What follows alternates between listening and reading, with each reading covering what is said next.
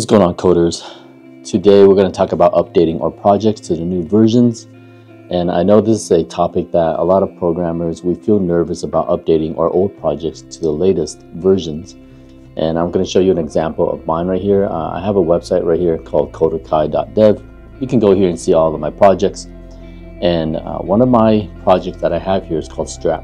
And this Strap project was created using Next.js version 14. And so Next.js came out with their new version 15. You know, like a lot of people, I felt nervous about updating it. I thought it's going to be time consuming and all of this stuff. So I'm going to show you my process on how I update this. And uh, you're going to see that it's very easy. I'll step you through it and you don't have to feel nervous about updating your projects. So let's get into this.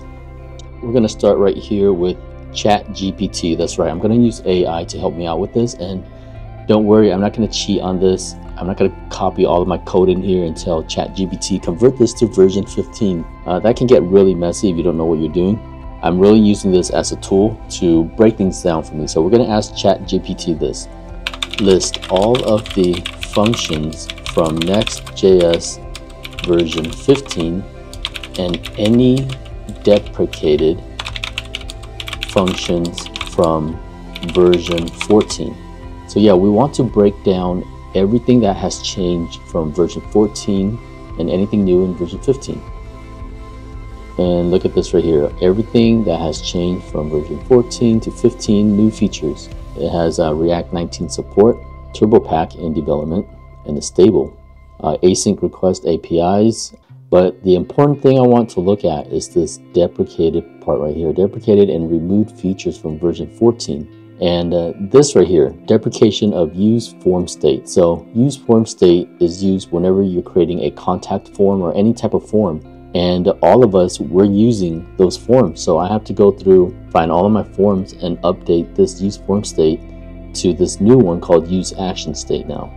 So that's what's going to break your program. If you're trying to migrate, you have to update the use form state. Uh, they removed Next.js font right here, package, and they're using a new one. So um, that stuff is only inside of your layout.js. You can look into the Next.js font. And then they removed geo and IP from Next request. So if you're using any of those in your libraries, just find the geo and IP and they removed it. Uh, so you see right here, it's not that many, right? It's just a few. And really, this is the most important part that I have to update in my application.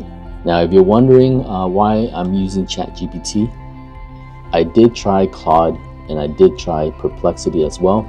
Perplexity was hailed as one of the best and it's the top one right now, but I can see Perplexity working for other things, but for my coding, I noticed that ChatGPT is just spot on.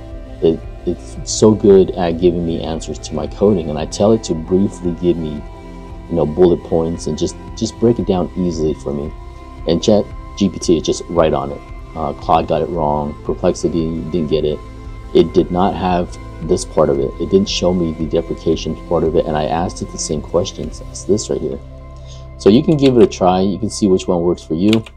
But for me, ChatGPT worked the best for me with coding. I can see other stuff for like research purposes, maybe Perplexity, I think. But coding, it worked the best for me. ChatGPT always came through for me. The next step is uh, here's my old strap Next.js version 14. I like to label it. And then I have a new Next.js 15 one here. I create a new folder called strap Next.js 15. So I'm going to drag this into my Visual Studio Code right here. And we're going to start fresh from this. So let's install Next.js. npx create next app dot my old version, it didn't use TypeScript, but I'll go with TypeScript as well. ESLint, yes. Tailwind, yes. Uh, source directory, I don't like the source directory. Uh, app router, yes. Turbo TurboPack, it is no. So, and so the next step is I like to go to my uh, previous version, the version 14, and I'm just going to go to the form that I know that has an issue, which is the contact form. That's the uh, used uh, form state that we need to correct, right? So I'm going to drag this contact into my application here. And I know that my contact uses a component here. I'll just put the whole component folder in here, copy folder. So here is our contact form. And so you see right here, use form state, and it's also use form status. What I like to do is just comment that out. Right here we have our form submit that handles everything. But down here, here's the state form action that is doing the use form state. I need to convert this now. So we're going to comment that out. And also the use form status, it's no longer using that. So now let's import use action state right here from React. That's the new one we want to use. And uh, it's going to say right here, const state. Sorry for this stuff popping up. I have Copilot installed and it's giving me suggestions on it. But we're going to step through this. There's a state. Uh, we have our form action right here. So we're going to still use that form action. And then now this thing has a pending, which is calling is pending equals use action state. And then we're going to call our form submit, right? Then we have our message that we uh, need to set to default. That's our default message there. Let's step through this use action state, what it's doing. Uh, we're still saying our state, which we're returning as a message right here. We have a default message and we're using the state down here so that we can display our message after the form has been submitted, right? This is going to capture the return value for the state. Uh, this right here is the dispatch. So uh, use form action, it's calling this dispatch, and it's really the form action right here. The dispatch is what you're calling it here. I'm calling it form action. If I change this to dispatch, like that, right? Then I just call this dispatch. So that's how it works. But I like to call things what it's doing, and this is an action on it, so I, I call it form action. That's all I'm doing. So this accepts that, and then it's also returning us a pending. So it's allowing us to remove this now, the use form status. We don't have to include the use form status anymore. It's returning that for us. It's going to handle it for us. And then it's using the use action state and it's allowing us to call our function here now, which is I have a form submit. So then it does the form submit and my form submit returns the result after it sends the message. And then uh, this just sets the default message as it's being initialized. So it's very easy now. We don't have to use these two things here and we just use one use action state. And so now our form works exactly how it should, the same way.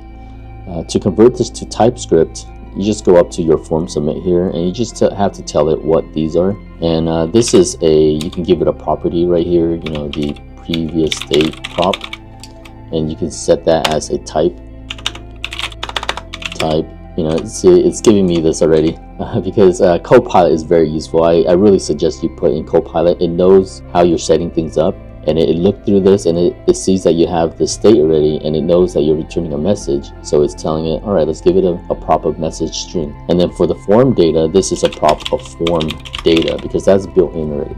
Uh, Next.js has this form data already. So we're just returning here, we're using it, see how we're doing the form data, get, get email, message. Those are the only two things that I'm using in this form.